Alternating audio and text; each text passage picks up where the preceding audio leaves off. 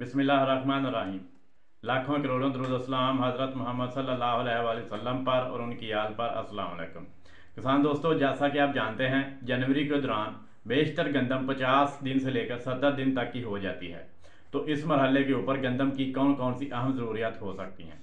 सबसे पहले जो अहम काम है, वो ये है कि अगर जड़ी बूटी मार स्प्रे नहीं की तो वो लाजमी करें।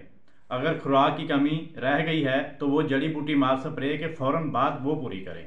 ऐसा ना हो कि पहले आप खुराक वगैरह दें और हफ़्ते के बाद जड़ी बूटी मार स्प्रे करें। तो इसका ज़्यादा फ़ायदा नहीं होगा, क्योंकि जड़ी बूटियाँ ज़मीन की सगी औलाद होती हैं।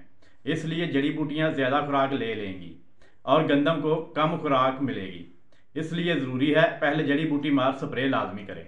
जो किसान दोस्त पहली आपाशी के वक्त नाइट्रोजन और फास्फोरस की पूरी मकदार नहीं डाल सके वो जनवरी में ही कम अज़ कम एक बोरी नाइट्रोफास डालकर अगली पिछली कसर पूरी कर दे क्योंकि जनवरी गंदम की फ़सल के लिए इंतहाई अहमियत का हमल होता है।